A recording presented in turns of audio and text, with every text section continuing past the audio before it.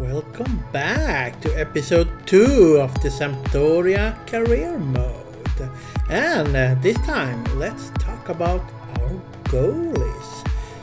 Our starting goalkeeper is, of course, Silvestri. Even if he's 33 years old, he's our best. And I believe he has one or two seasons left in his body. Uh, Girardi and uh, will have few games each this season. But Vismara, who is on loan, will sadly not play this season because I don't I don't see him making a case for uh, getting any play time. So yeah, first game coming up in Serie B, and um, what do we believe? Well, I gotta start one thing. Uh, this new press conference in FC25, they are bad, really bad same question and it's always about the players and I actually think that the questions before was good and they weren't good at but compared to this this this is bad. So yeah let's talk about real questions. What do we believe about this season? Well I don't know if it's good enough to uh, be fighting for promotion. Uh, I don't know my team that well yet we'll try to at least be one of the top five, six teams this season, just to get to know the players and which one we believe for the future. So uh, we will see. Uh, maybe if we start very well, we maybe higher up our expectations. But uh, I do like the squad. There's some good mix of old and new, and uh, well, we'll see. I, let's start at least good, right?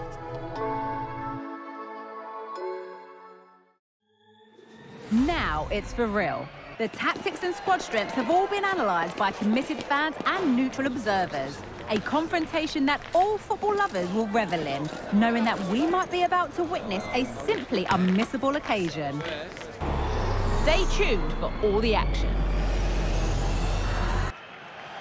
A warm welcome on what is a lovely evening for football. I'm Guy Mowbray and Sue Smith is alongside me for commentary and you can really sense the anticipation in the crowd with their season just about to get underway. How do you see this one going, Sue? You can't beat the opening day of the season. Being away is always tough, but the players, I'm sure they can't wait to get going. They're going to want to send out a statement today, showing everybody else that they're the team to beat. Expectations high, but I'm sure they'll be ready.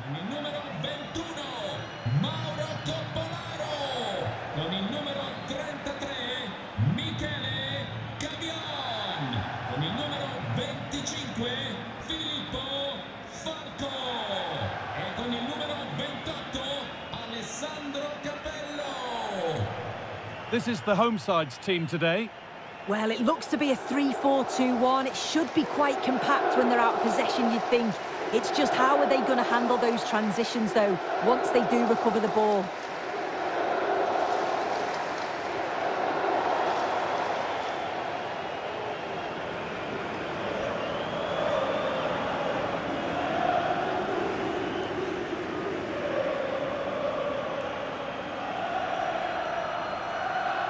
the Sampdoria team sheet.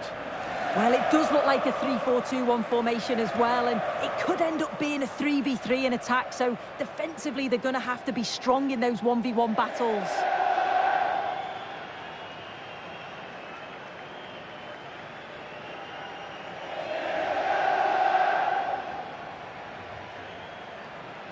Grazie per essere qui oggi e buon divertimento!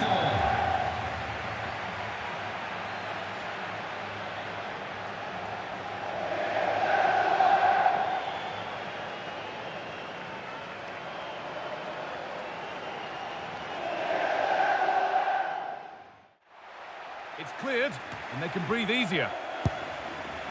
Going for the blast on goal there, but accuracy has been sacrificed for power.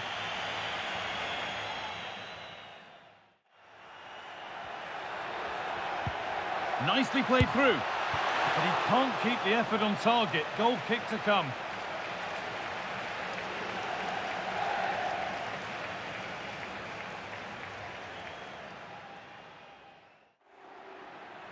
And that'll do it. The end of the first 45 minutes here.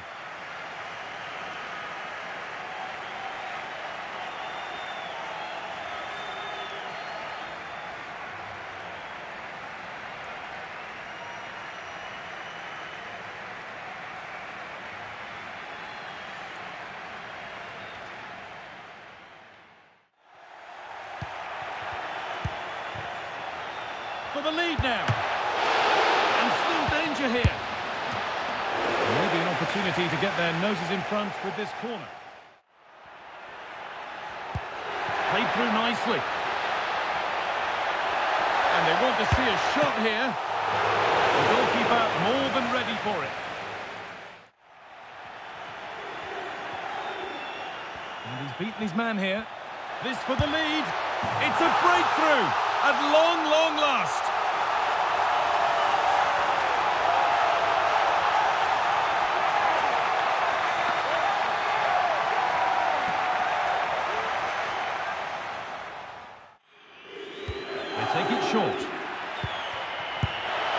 was a wonderful chance, but he went to whack it rather than place it.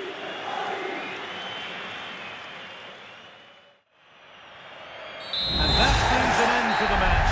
With disappointment felt in the away end, it's three points dropped. Yeah, certainly not the best performance, was it? Just a little off the pace for me. Obviously a disappointing result, but the key thing is that they bounce back now as they can't afford a repeat next time out.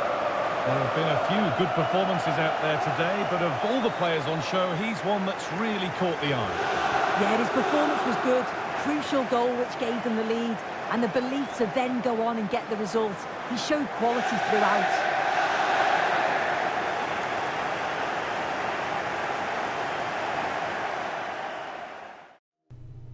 Yeah, not the start we wanted for the season, uh, and the struggle of scoring is still here, like we had in the preseason. So that is just one thing we need to focus on in the coming games, definitely. Scoring goals. The atmosphere is building. This one is always a classic, but what drama will we have for you today?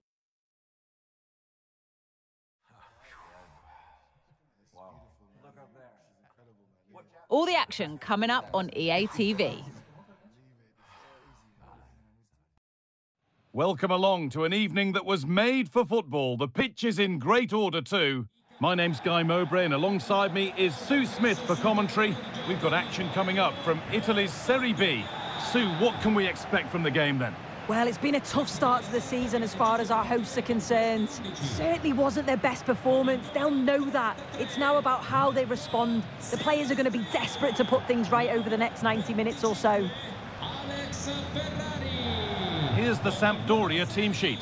It's certainly a 3-4-2-1 formation, and this can be quite balanced with the three central defenders, the two holding midfielders keeping it quite tight at the back. But then when they go forward, you've got the three attackers and the wing-backs joining in as well to cause problems. Con il numero 44, Ioannou. This is the lineup for the visitors. Yeah, it looks like a 4-5-1 or a 4-2-3-1. This can be quite an attacking lineup with the three progressive players behind the lone striker, but you've still got that defensive protection with the two midfielders holding.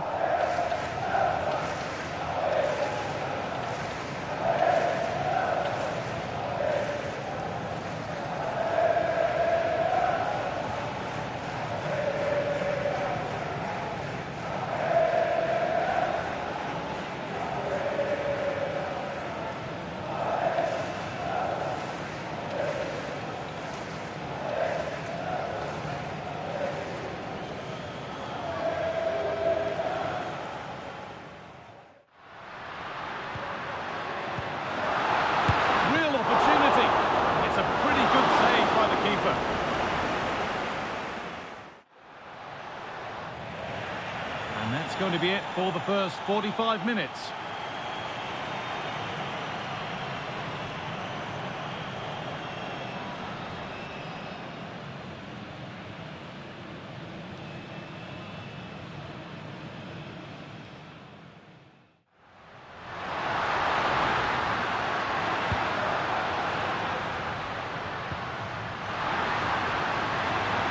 Gets really nicely. What a chance. And the first blow is delivered. 1-0.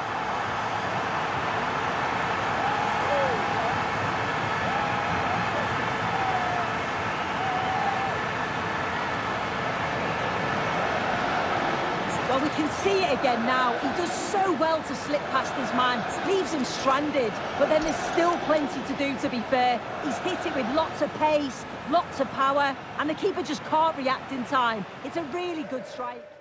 Good work to recover possession. Well timed with the slide tackle. Had to be. Corner to come, and a goal here would probably seal it.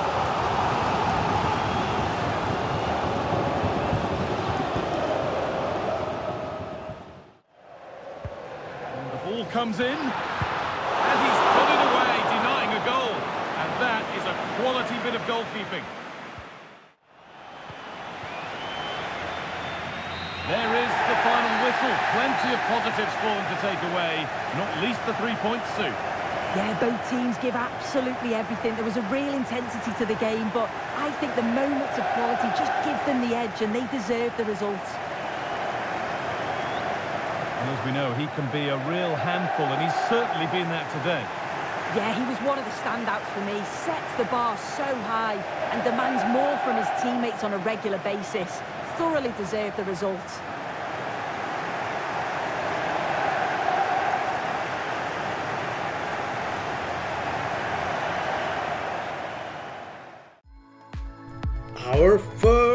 Victory.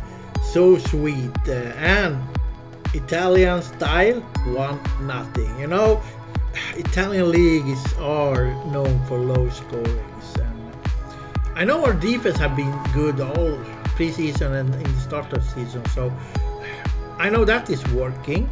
Uh, But the scoring is struggling. But at least we did score one goal today and didn't concede anyone. So uh, I take that. But uh, we, still need to find our groove, our rhythm in the game. But uh, I think it, we will improve. Each game I see more and more about which player mix together good and find some play styles that we really like out there. Uh, so I'm confident. I, I think we can build from this one nothing win uh, in the coming games. So the boys showed something today. I hope we can stick to it. And of course, I wouldn't mind scoring more goals, more than one, right? Can we have that, please?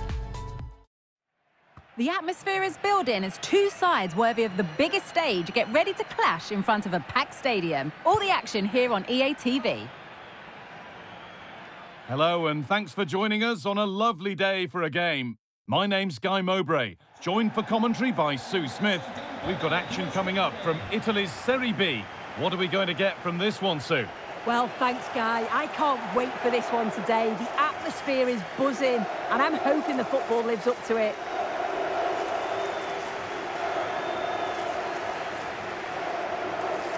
This is how the hosts line up. It's certainly a 3-4-2-1 formation, and this can be quite balanced with the three central defenders, the two holding midfielders keeping it quite tight at the back. But then when they go forward, you've got the three attackers and the wing-backs joining in as well to cause problems.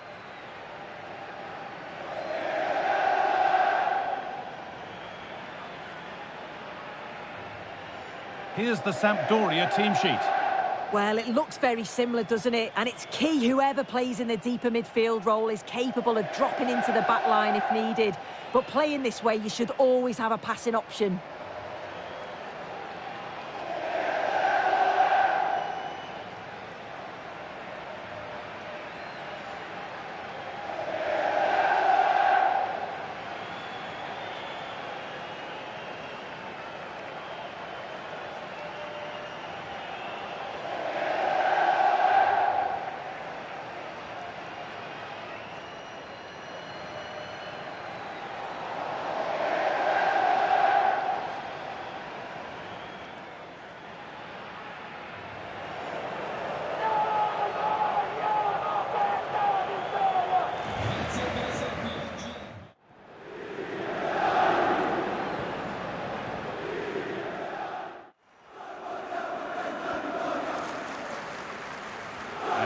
To retain possession. He's hit that well.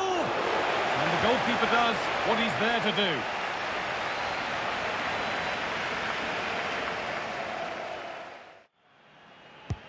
Corner kick played in. It's in!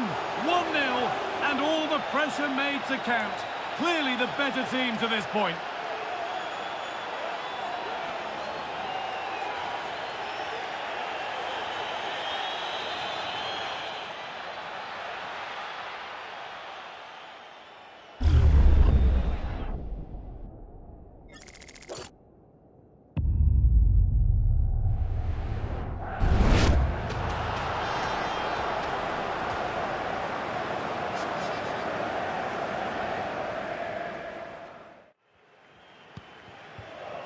There's a chance for the breakaway here. Could be something on. Nail for the finish. Looks to lift it. And it's there. A lovely, lovely way to score. Made a difficult finish look very, very easy.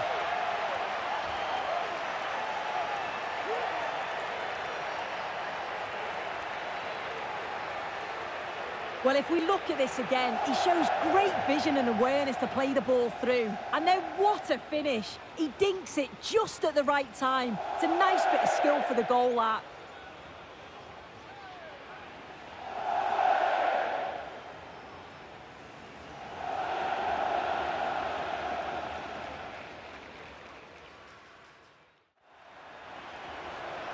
They're not getting close enough here. And ready for it coming his way. And the referee's whistle brings the first 45 minutes to a close. Well, he's certainly been influential in the first 45 minutes. What have you made of his performance, Sue? Yeah, He's done well, hasn't he? The standout is obviously his goal, but the quality of his all-round play has been impressive. He'll be hoping he can continue that level in the second half. Just waiting for the moment to break through. It's a good try, and only just wide of the mark.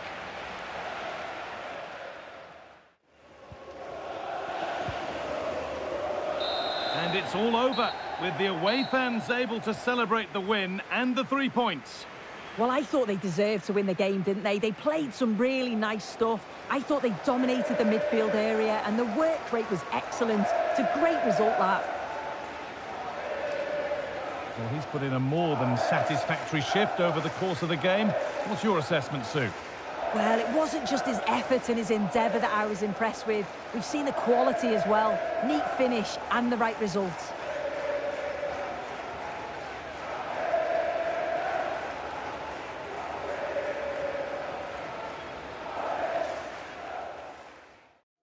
Win number two. And we scored two goals this game. I like the way we're going, boys. Looking better and better. And uh, yeah, three games in. And if you look at the standing, I don't mind. We are fourth place. Uh, could this be? Maybe there we're gonna be. Well, let's see.